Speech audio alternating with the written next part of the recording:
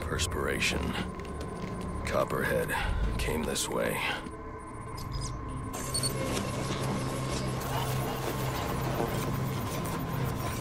All I need is one drop of poison.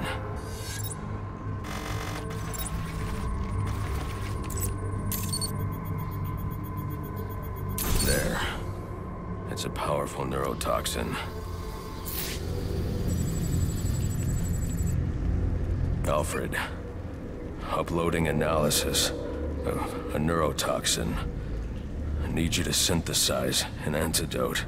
Your vitals are off the charts. What happened? Uh, never mind. Just get up to ground level so I can send in an airdrop. And after this, you're coming back here so I can have a look at you.